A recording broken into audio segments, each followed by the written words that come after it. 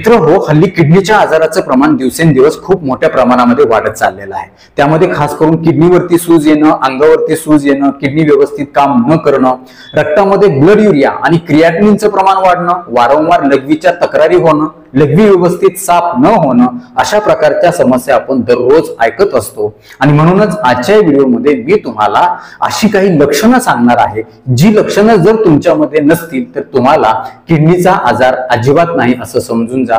तुमच्या किडन्या व्यवस्थित काम करत आहेत असा त्याचा अर्थ होतो. पण जर समजा मी सांगितलेली लक्षणं तुम्हाला दिसत असतील तर लवकरच तुम्हाला सावध होण्याची सतर्क होण्याची गरज आहे.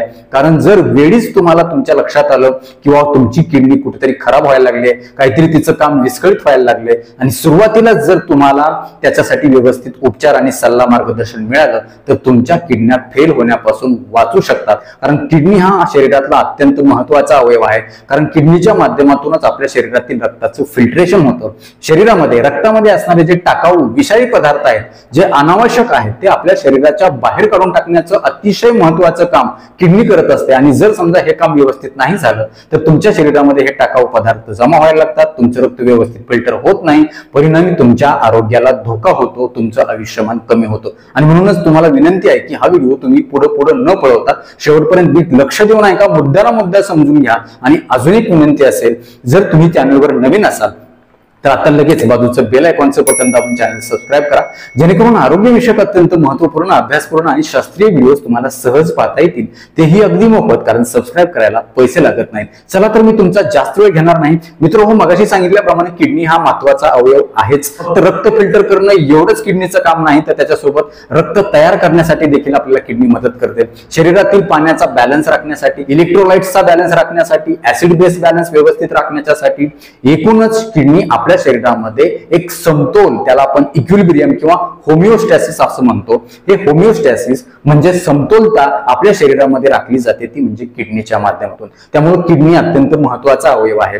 जेव्हा ह्या किडन्या खराब होतात तेव्हा आपल्याला काही लक्षणं दिसतात. किडनी जेव्हा खराब होते तेव्हा आपलं शरीर काहीतरी आपल्याला सूचना देते अलार्म देते. त्याच्याकडे आपण नीट लक्ष देणं गरजेचं आहे आणि वेळीच सावध होणं गरजेचं आहे. सगळ्यात पहिलं आणि महत्वाचं लक्षण आहे ते म्हणजे थकवा जाणवणं तुम्ही कुठलंही काम केलेलं नाही शारीरिक कष्ट केलेलं नाही व्यायाम केलेला नाही चांगला आहार घेतलेला आहे चांगली झोप घेतलेली आहे विश्रांती घेतलेली आहे तरी सुद्धा जर तुम्हाला थकवा जाणवत असेल तर समजून जा तुमच्या किडनीमध्ये काहीतरी प्रॉब्लेम असू शकतो. आता याचं कारण काय? किडनीचा आणि थकवा येण्याचा संबंध काय आहे?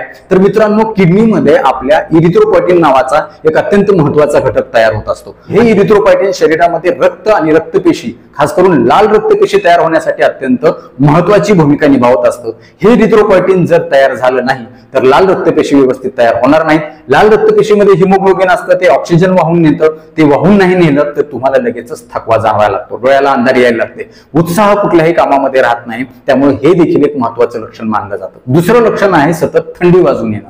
वातावरणामध्ये उष्णता आहे गरमीचे दिवस आहेत उन्हाळ्याचे दिवस आहेत इतर लोकांना अजिबात थंडी वाजत नाही मात्र या रुग्णाला अंगावर सारखा बारीक काटा येतो. अंग सतत थंडगार पडतं आणि सतत पेशंट सांगतो की मला थंडी वाजायला मग या रुग्णाला बाहेरची हवा नको वाटते एसी नको वाटतो. साध्या पंख्याची थोडी जरी हवा लागली तरी याला जास्तीची थंडी वाजून येते.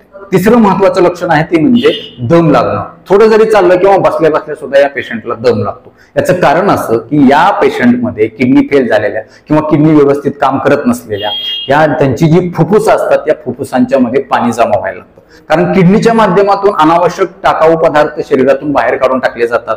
पाणी देखील योग्य प्रमाणामध्ये बाहेर काढून टाकून शरीरामध्ये पाण्याचा समतोल राखला जातो. परंतु किडनी ज्यावेळेस खराब होते तेव्हा हे जे पाण्याचा समतोल राखण्याचं काम आहे ते बिघडतं. शरीरामध्ये जास्तीचं पाणी जमा व्हायला लागतं. परिणामी फुफ्फुसामध्ये देखील जास्तीचं पाणी जमा व्हायला लागतं. त्यामुळं फुफ्फुस व्यवस्थित अंकुचन आणि प्रसरण पावत नाही.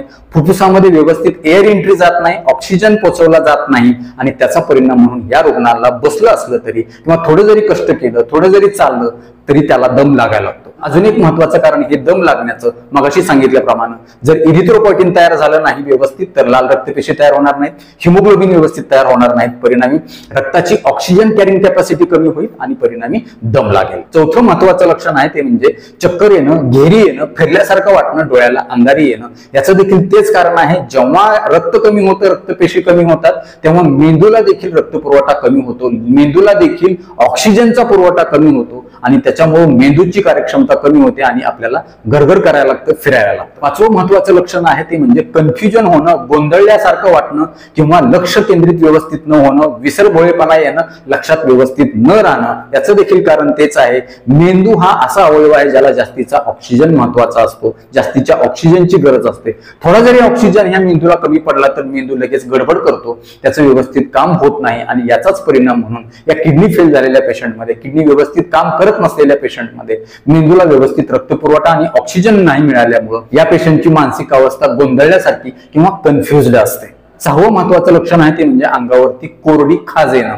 सतत त्या पेशंटला खाज येते. बऱ्याचदा पेशंट खाजेसाठी औषध गोळ्या घेतो त्वचेच्या डॉक्टरला दाखवतो. पण खाज काय कमी होत नाही. जोपर्यंत औषध गोळ्या आहेत तोपर्यंतच ती कोरडी खाज असते. नंतर परत ती सुरू होते. त्याचं एक महत्वाचं कारण म्हणजे किडनी खराब झालेली असू शकते. त्याचं कारण असं की जेव्हा किडनी खराब होते तेव्हा शरीरामध्ये टाकाऊ पदार्थ जमावे लागतात. त्यातल्या त्यात क्रियाटमिन नावाचा पदार्थ किंवा ब्लड युरिया जास्त वाढतो केटोन बॉडी जास्त वाढतात तेव्हा याचे विषारी परिणाम त्या त्वचेवरती जाणवतात आणि परिणामी त्या पेशंटला खूप मोठ्या प्रमाणामध्ये खाज यायला लागतो. होतच त्या पेशंटच्या त्वचेचा रंग बदलतो. त्वचेवरती काळसर किंवा लाल धब्बे पडायला लागतात आणि ते काही केल्या निघून जात नाही त्वचा कळवळून जाते. अशा प्रकारची अवस्था निर्माण होते कारण शरीरामध्ये जमा झालेले जे टाकाऊ विषारी घटक आहेत टॉक्सिन्स आहेत ते त्वचेवरती येऊन बसायला लागतात आणि परिणामी त्वचेच्या तक्रारी आपल्याला सुरू होतात. सातवं महत्वाचं लक्षण आहे ते म्हणजे अंगावरती सूज येणं. खास करून चेहरा असेल पाय असतील किंवा संपूर्ण अंगावरती सूज येते. डोळ्याच्या खाली सूज यायला लागते. सकाळी उठल्या उठल्या खास करून ही सूज जाणवते. आणि या किडनीच्या आजारामध्ये अशा प्रकारची सूज येण्याची दोन मुख्य कारण आहेत.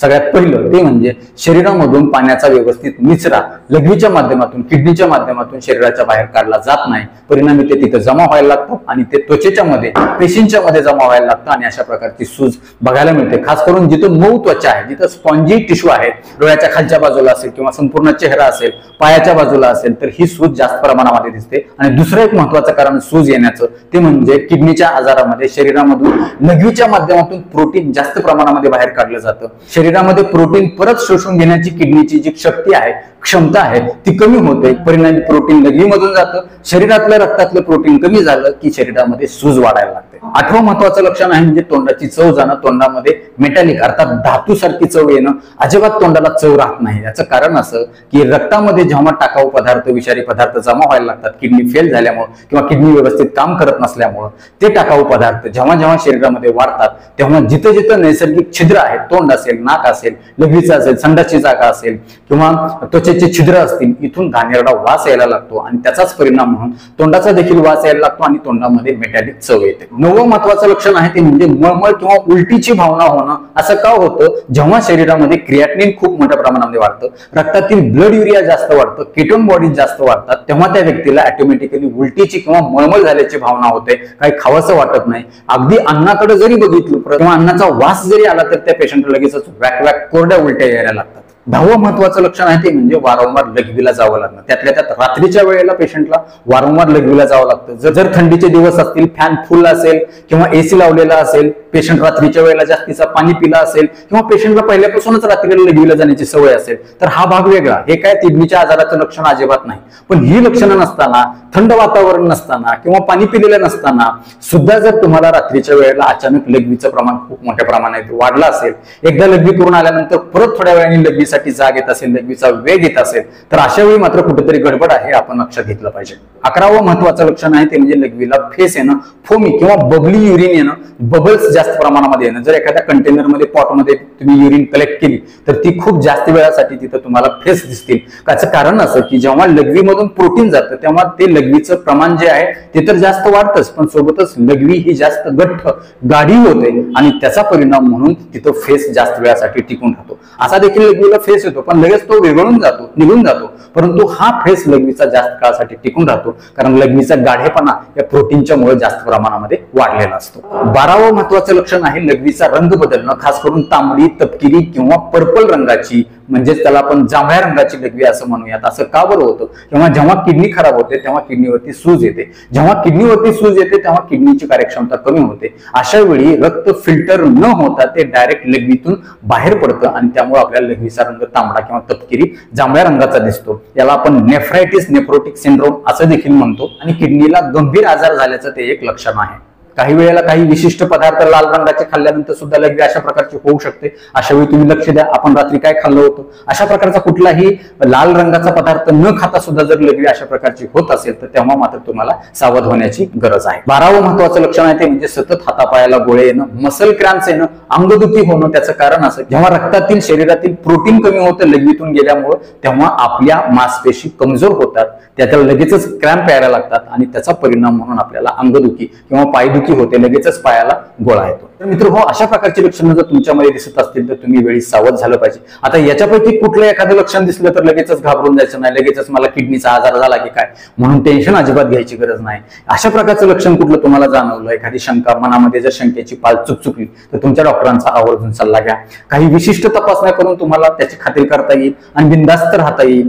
जर ह्या तपासण्या तुम्हाला करायच्या असतील त्याच्यासाठी किडनी फंक्शन टेस्ट साधी तपासणी आहे. पाच सहाशे रुपये त्याला खर्च येतो. पण तुमच्या मनातली शंका पूर्णपणे दूर होऊन जाते. या किडनी फंक्शन टेस्टमध्ये खास करून मग सिरम क्रियाटिन असेल किंवा ब्लड युरिया असेल किंवा यासोबतच तुम्हाला जीएफआर नावाची एक तपासणी ज्याला आपण ग्लोमेरुलर फिल्ट्रेशन रेट असं म्हणतो. याच्या माध्यमातून तुमची किडनी व्यवस्थित काम करत आहे का? तिच्यामधून व्यवस्थित रक्त फिल्टर होत आहे का?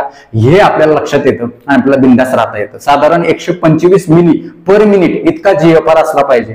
पण ढोबळ मानानं जर तुमचा जीएफआर हा साठ सत्तरच्या पुढे असेल तर तुम्ही रिलॅक्स राहा. तुम्हाला कुठलीही काळजी करायची गरज नाही. आणि क्रियाटिनची लेवल जर एक पॉईंट पंचवीसच्या आत असेल तर तुम्ही बिंदास राहा. तुम्हाला काही अजिबात काळजी करायची गरज नाही. आणि खास करून याच्यातलं कुठलं लक्षण दिसलं तर घाबरून जाऊ नका. मी परत एकदा सांगतो. जर सूज खूप जास्त येत असेल अंगावरती चेहऱ्यावरती डोळ्याच्या खाली आणि ह्या सुजेसोबत जर तुम्हाला दम लागत असेल थकवा जाणवत असेल सूज येऊन रक्ताचं हिमोग्लोबिनचं प्रमाण कमी झालं असेल बीपी खूप मोठ्या प्रमाणामध्ये वाढला असेल तर अशा वेळी तुम्हाला सावध होण्याची गरज आहे. कारण जेव्हा किडनीचं काम कमी होतं तेव्हा शरीरातलं पाण्याचं प्रमाण वाढतं. पाण्याचं प्रमाण वाढलं की ब्लड प्रेशर वाढतं. आणि ब्लड प्रेशर वाढणं आणि खूप दिवसासाठी ते वाढलेलं राहणं अनियंत्रित उच्च रक्तदाब हायपर टेन्शन जर असेल तर त्याचा सगळ्यात जास्त परिणाम किडनीवर होतो. त्यामुळे तुमचा रक्तदाब देखील तुम्ही वेळोवेळी तपासला पाहिजे. जर तो वाढलेला असेल तर तो व्यवस्थित कंट्रोल करा. मग त्याच्यासाठी काय तुम्ही लाईफस्टाईल चेंजेस करू शकता काय औषधोपचार तुमच्या डॉक्टरांच्या सल्ल्याने घेऊ शकता. पण बीपीचा आजार तुम्ही अंगावर अजिबात काढू नका. कारण बीपी मुळे तुमच्या किडनीला खूप मोठा धोका होऊ शकतो आणि तुम्हाला ही सगळी लक्षणं सुरू होऊ शकतात. त्यामुळे नक्कीच मित्रांनो ही सगळी लक्षणं लक्षात ठेवा. तुमच्यामध्ये अशा प्रकारची लक्षणं एक गठ्ठा जर दिसत असतील एक फक्त नाही लक्षणांचा समूह जर दिसत असेल तर तुम्ही वेळेत सावध व्हा. अलर्ट व्हा सतर्क व्हा. मात्र घाबरून जाऊ नका. तुमच्या डॉक्टरांच्या मदतीने त्याचं निदान करा. लवकर उपचार होतील आणि तुमच्या किडनीच्या आजारापासून तुमचा बचाव होईल. किडनी तुमच्या सुरक्षित राहते. आणि याच्यापैकी कुठलं लक्षण दिसत नसेल तर तुम्ही बिंदास राहा. तुमच्या दोन्ही किडन्या व्यवस्थित टकाटक शंभर टक्के काम करत आहेत असं समजून जा. तुम्हाला अजिबात काही काळजी करायची गरज नाही. तर मित्र हो नक्कीच हा व्हिडिओ तुम्हाला उपयुक्त वाटलाच असेल याची मला खात्री आहे. व्हिडिओ आवडला असेल तर लाईक करा. कॉमेंट बॉक्समध्ये आम्हाला तसं आवर्जून कळवा. या उपरही जर तुमचे काही प्रश्न असतील किडनीच्या आजाराच्या संबंधित आम्हाला कमेंट बॉक्समध्ये कळवा. ते कळवत असताना तुमच्या गावाचं नाव आवर्जून लिहा. यासोबतच हा व्हिडिओ तुम्ही जास्तीत जास्त तुमच्या मित्र नातेवाईकांना देखील शेअर करा. जेणेकरून त्यांना देखील कळू द्या की त्यांची किडनी व्यवस्थित आहे का? त्यांना कुठला किडनीचा आजार तर नाही ना. मित्रांनो परत एकदा जाता जाता विनंती करतो जर चॅनल सबस्क्राईब केलं नसेल तर आता लगेच सबस्क्राईब करा. तुमच्या मित्र नातेवाईकांना देखील सबस्क्राईब करायला सांगा. तुर्तास आजच्या व्हिडिओमध्ये इथंच थांबूया. लवकरच भेटूया नवीन व्हिडिओमध्ये नवीन विषयासह. तोपर्यंत आनंदी राहा. निरोगी राहा। धन्यवाद।